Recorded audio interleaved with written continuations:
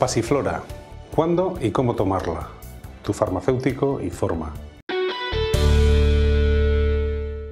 La pasiflora o pasiflora incarnata es una planta medicinal originaria de México que ya era utilizada por los aztecas por sus propiedades sedantes.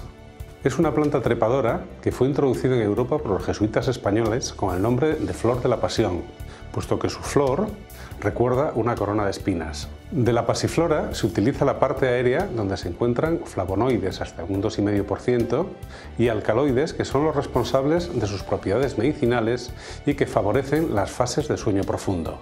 De su actividad farmacológica destaca su acción ansiolítica y tranquilizante.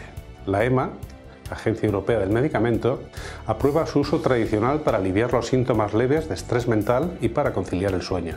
Cabe destacar que la pasiflora, al no producir habituación ni dependencia, puede resultar una interesante opción en el abordaje del insomnio y de la ansiedad. A la hora de tomar pasiflora, en la farmacia disponemos de productos con las dosis recomendadas por la Agencia Europea del Medicamento, que en un adulto son las siguientes. Si la tomamos en polvo, entre 0,5 y 2 gramos de una a cuatro veces al día. En forma de infusión, 1 o 2 gramos en 150 mililitros de agua de una a cuatro veces al día. Y en extracto líquido, de 2 a 4 mililitros hasta cuatro veces al día.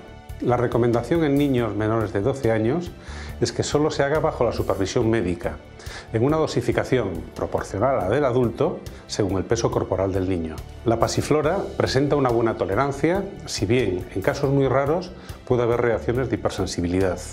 Y muy importante, la pasiflora puede causar somnolencia, por lo que puede verse reducida la capacidad para conducir y para manejar maquinaria pesada. Recuerda, pregunta siempre a tu farmacéutico de confianza, experto en plantas medicinales. Te aconsejaremos y resolveremos cualquier duda que tengas.